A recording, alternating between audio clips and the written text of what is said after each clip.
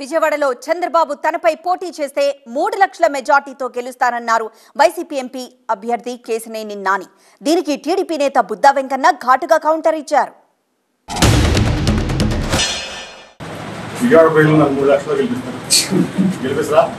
చంద్రబాబు వచ్చి నుంచుంటే నన్ను విజయవాడ ప్రజలు మూడు లక్షలతో గెలిపిస్తారు. చూశాను కదా రెండు వేల పంతొమ్మిదిలో ఆయన పరిమాణాలు కొడుకు లోకేష్ అతను మంగళగిరి నుంచి ఓడిపోయాడు. ఆఫ్టర్ ఆల్ అతను నా ముందు ఓడిపోయిన ఒక ఎమ్మెల్యే అభ్యర్థి మాకు కొడుకునే గెలిపించుకోలేకపోయాడు ఆ రోజు ముఖ్యమంత్రి కూడా చంద్రబాబు నాయుడు. ఇవాళ ఏం చేస్తాడు? అందుకే ఆయన రమ్మంటున్నాడు ఆయన వస్తే మూడు లక్షల మెజార్టీతో నేను గెలుస్తున్నాను. విజయవాడ పోయి గెలిపించుకోవడం వెళ్ళి ఇవాళ ఎక్కడ వెళ్తే అక్కడ చంద్రబాబు నాయుడు గారిని నా మీద పోటీ చేస్తే మూడు లక్షల మెజార్టీతో గెలుస్తానని వాగుతుంది ఈ సొంత బలం శూన్యం. విజయవాడలో బ్రువన్నల ఇలాంటి వాడివి నువ్వు.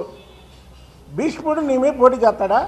నువ్వు లక్ష ఓట్ల మెజార్టీ కంటే ముందు తక్కువ కానీ ఓడిపోతే అది ఓటమి అనేది ఖాయం.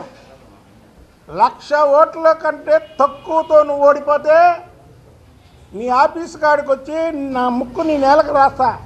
నువ్వు ఓడిపోతే చంద్రబాబు గారి కట్అవుట్ అక్కడ పెడతాం. పాదాలు పట్టుకొని అయ్యా నేను తప్పు చేశాను. ఇక్కడ నువ్వు నన్ను క్షమించానంటే కొద్దిగా నాకు బాగుంటుందని నువ్వు అనగలవా? చేసి నేను నాని.